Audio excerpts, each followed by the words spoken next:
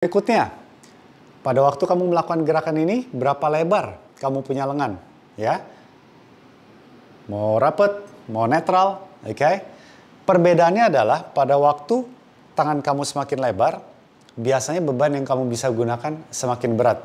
Kenapa? Soalnya pada waktu kamu punya tangan lebar, kamu mempunyai lats untuk support bebannya pada waktu kamu turun. Tetapi pada waktu tangan kamu ke depan, letsnya kamu lebih tidak aktif. Berarti semua beban akan ada di bahunya kamu.